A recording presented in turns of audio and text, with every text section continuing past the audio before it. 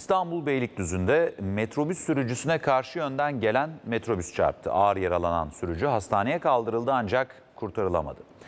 Beylikdüzü'nde Büyükçekmece yönünde ilerleyen bir metrobüs gece Haramidere mevkiinde arızalandı. Aracı kontrol etmek için aşağıya inen Eyüp e, Maytalman'a karşı istikametten gelen metrobüs çarptı. Başından ağır yaralanan sürücüye ilk müdahaleyi yolcular yaptı. Hastaneye kaldırılan Maytalman kurtarılamadı.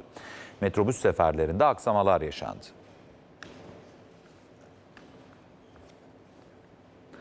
İstanbul Kadıköy'de torunu tramvay raylarına atlayınca babaannesi kurtarmak için onu çekmeye çalıştı. Bu sırada gelen tramvay yaşlı kadına çarptı ve kadın hayatını kaybetti.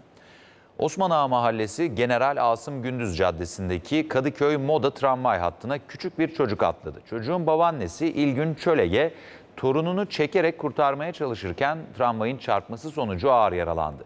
İhbar üzerine bölgeye polis, itfaiye ve sağlık ekipleri sevk edildi. Çölege ve torunu itfaiye ve tarafından e, tramvayın altından çıkarılarak ambulansla hastaneye sevk edildi. Ancak e, müdahalelere rağmen yaşlı kadın kurtarılamadı.